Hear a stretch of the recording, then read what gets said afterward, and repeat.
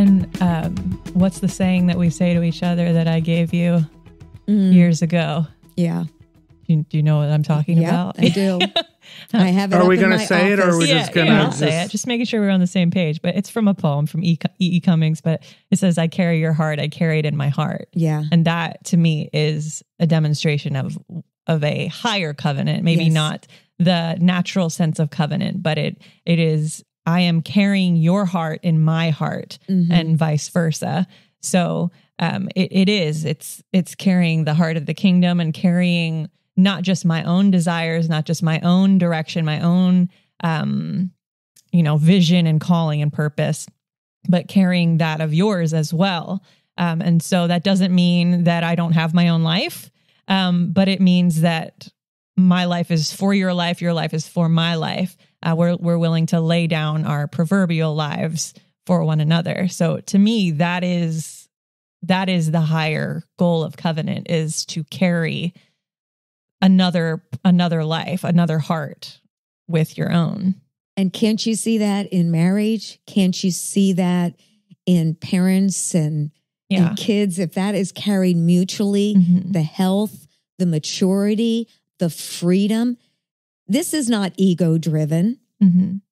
Yeah. You know, it is life exchange. It is mutually empowering. It is mutually building. It is that person is free. They Yeah. are not bound or controlled or manipulated. They are free. Mhm. And in that process, you know, really, like, you don't have to be ooey gooey, mushy gushy, lovey dovey.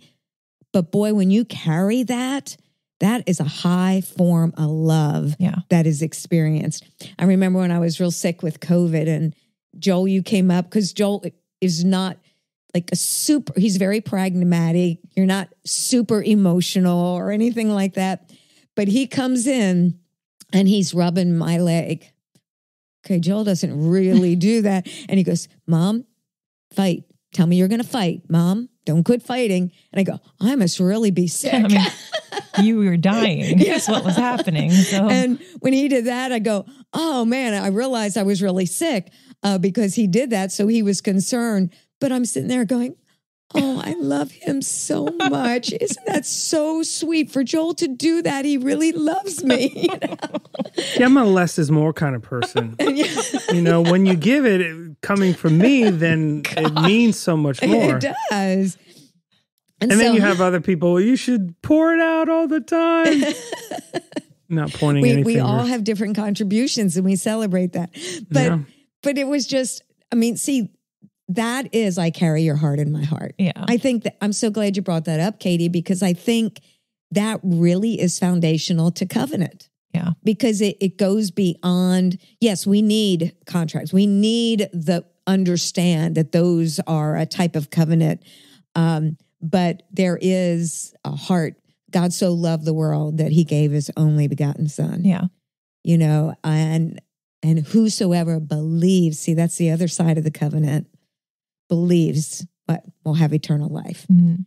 and so i think it's so important to to recognize that the beau- most beautiful modeler of kingdom covenant is our god Mhm. and our response to him So covenant relationships are relevant, but they're not, what's the word? I don't want to say frequent or Common. common because you're not making a covenantal relationship with just anybody, right? Mhm. no and it's not a dime a dozen hmm No. it's it's worth its weight in gold Yeah. And and there is a price that is paid you know on both sides and uh and a way of living and treating one another that connects i mean i Well, how do you know if someone is worthy of a covenantal relationship?